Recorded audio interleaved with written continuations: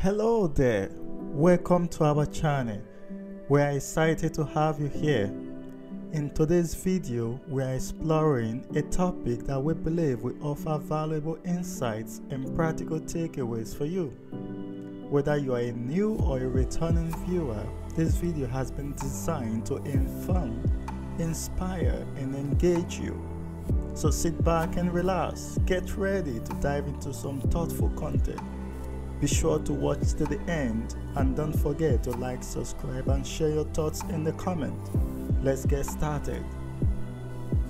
Tonight is very simple, and that is I am afraid that most of you in this room and in this auditorium tonight, and perhaps watching this program, you are going to add to the treasure and the wealth of the cemetery. And that makes me very sad. Because buried inside of you are dreams that you still carry. Ideas that God planted in your heart that you still haven't done yet. Paintings that you've been planning to paint and books you've been thinking about writing and paintings you keep procrastinating about. And what I'm so concerned about is we'll never see your painting.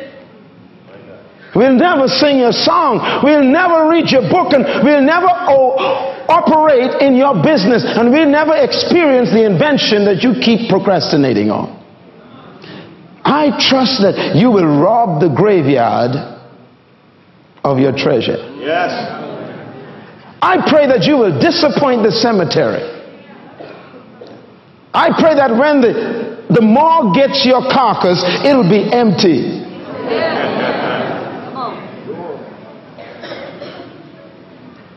Treasure. What do you call this massive treasure that's in every cemetery? It's called potential. Write the word down. Potential. Everybody say it. Potential. Say it one more time. Potential. Why is this called potential? Well, potential, I want to define it for you one more time. Potential is untapped power. Potential is unused ability. Are you ready? Potential is dormant strength. Potential is hidden power. Potential is all you could be, but you haven't become yet. Potential is how far you can go in life, but you haven't gone yet. Potential is who you really are, but we haven't seen you yet. Potential is everything you could be, but you haven't become it yet. Potential is all you can do, but you haven't done yet. In essence, potential is never what you've done. Please make a note of that. Potential is never what you've done. It's always what you could do, but you haven't done yet. In essence, whenever you've done something, it's no longer your potential. Therefore, potential is everything that is yet unused that is still within you. I am convinced that God has buried in every human being, all 5.2 billion of us, treasure that is yet to be tapped. Let's put it this way if potential is not what you've done, but what you could do, then whatever you've done is no longer your potential. Therefore, you should never be impressed by what you've done, because if you are impressed by what you've done, it'll stop you from doing what you could do. The greatest enemy of progress is your last success. The greatest threat to moving ahead is getting excited about where you are. Whenever you feel like what you've done is the best you could do, you just died. Come on. No matter what you've done, if it didn't kill you, there's more left.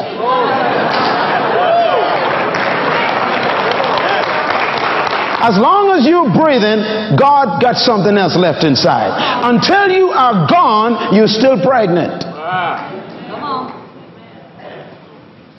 Because God sent you here. And no human being came to this planet empty.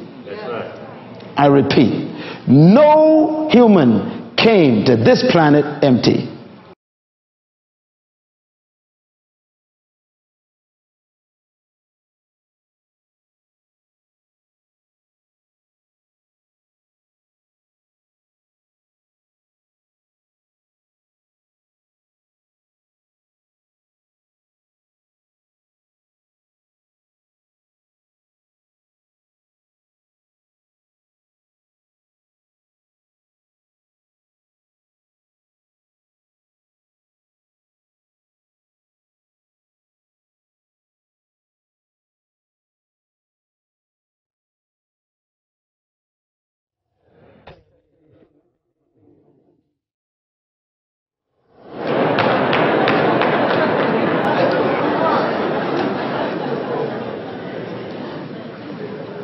Now, I want to talk to you about the best kept secret.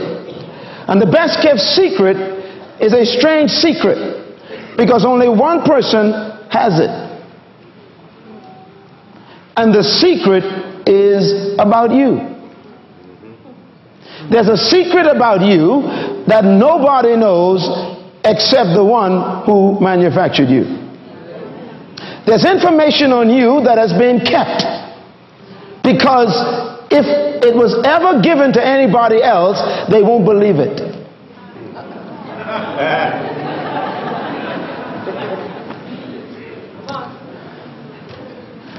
First, I want to deal with a little issue before I go any further. I want to talk about how to be set free so you can discover your secret.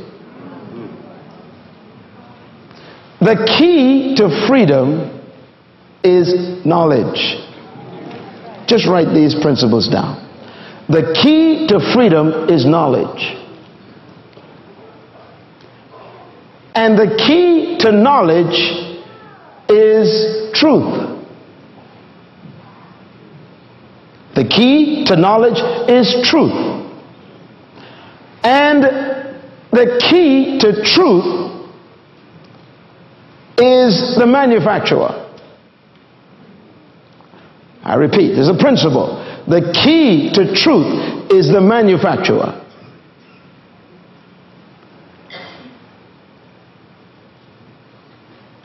Let's talk.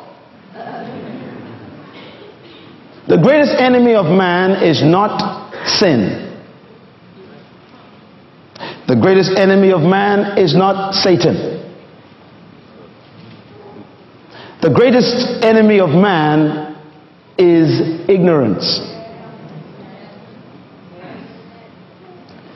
Ignorance is the cause of all destruction. As a matter of fact, we blame so many things on this entity that we call devil that we've become irresponsible lately. We eat bad, get sick, and then blame it on the devil. Yeah.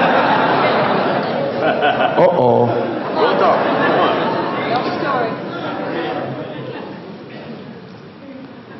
Ignorance is the major enemy of man. God says, My people perish, or they are destroyed because of a lack of knowledge. And because they have rejected knowledge, I must also reject them, and they cannot represent me.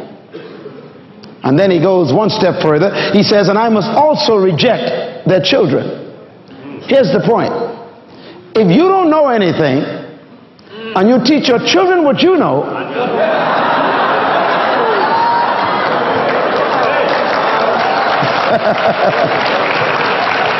then your children is as smart as you. Write this down. All I know is what I've learned. Say with me. All I know is what I have learned. One more time. All I know is what I've learned. Now you got to let that sink in for a minute. No matter how many books you bought, you only know the ones you read. Don't look now if someone's looking at you. Some of you bought books last year and haven't cracked the pages yet. And you show people your library and try and impress them with what you don't know. Come on. You bought videotapes and haven't burst the plastic on it yet. You bought cassette tapes and haven't listened to them yet. You see, buying information doesn't give you revelation.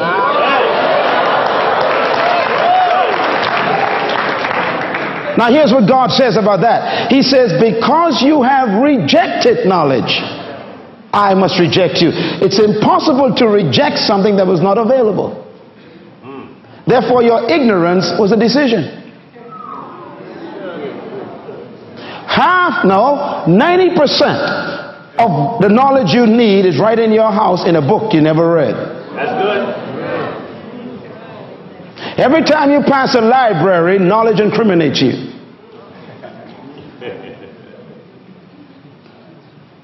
God says you are perishing because you lack knowledge.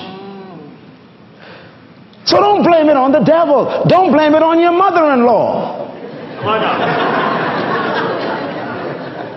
Don't blame it on your teacher. Don't blame it on the school system. You don't need a teacher to learn. Oh, come on, say something, Minnesota. Some of y'all blaming it on the education department. You don't need a professor to make you read a book. I'll never forget the day when I walked on the premises of the university I attended. I walked into my first class, freshman, and here comes this professor. I was so excited, all my books, and I sat there ready, eager to learn. And I saw this great bank of reservoir of knowledge walk into the room. And I said to myself, I'm going to learn so much from this great man. And he stood there for five minutes and says, Good morning. I'm glad that you are here today. Our course of study shall last for the semester. You have five books to read. Tonight, I want you to take the first book, read the first five chapters, write a paper. I'll see you tomorrow.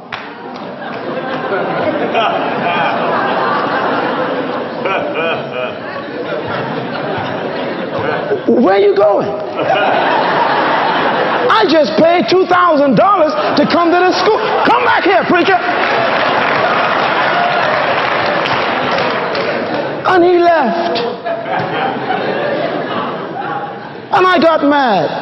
And I said, wait a minute, I just paid $2,000 tuition and another $1,600 for, for, for room and board, and I bought all these books for hundreds of dollars, and the man spent five minutes in the class.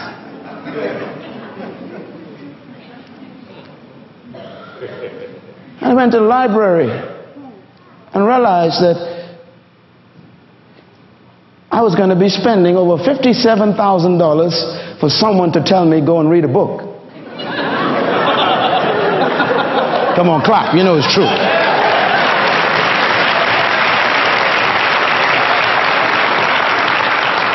Knowledge is the key to freedom. But the key to knowledge got to be checked carefully. I used to think that knowledge was power. That's not necessarily true. Because you can learn the wrong thing.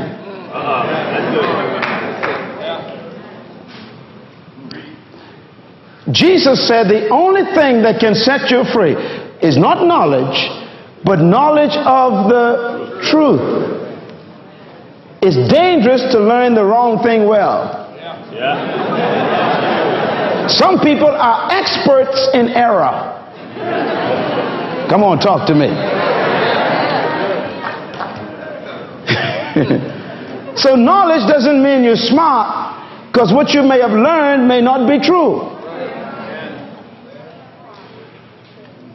And the most dangerous thing for a person to have is knowledge that is erroneous, that they believe is true. The most dangerous human being I've ever met is one who has zealous error. People with zeal who are wrong. And it's the cause of great tragedy in our humanity and in our history of man. Most of the problems in our past are results of zealous, erroneous people. People who had information that was erroneous, it was wrong, but they thought it was right and they were zealous. Hitler, for example, believed that everybody else was subhuman and the Aryan race was the only true human race. And that error made him massacre millions of people. The Crusaders, who were Christians, were under an error and they killed thousands and thousands of people all over Europe because they had a theological error and tried to force people to come to Jesus with the sword. And then you used to preach against speaking in tongues and you used to rebuke people who did it and now you're doing it more than they. Don't look at me so funny. Some of you used to have scriptures to prove it was from the devil. Look at you now. It's amazing what we do with error. We defend it vehemently. That's why Jesus said, Knowledge of the truth shall set you free. Not just knowledge, but the truth. Now, I mentioned to you that truth, the key to truth is who? The manufacturer. What do I mean by that? The manufacturer is the only one who knows the truth about his product. Let me try it one more time. the manufacturer is the only one who knows the truth about his product. Yes. Everybody else is experimenting. Come on now. That's good. Everybody else is guessing. And everybody else has opinions. The manufacturer knows the truth about his product. That's why you shouldn't get information from anyone else except the manufacturer. Don't even believe the retailer because he's in business for sales. Lord, help me tonight. That's why I don't trust humans to tell me who I am. Hey.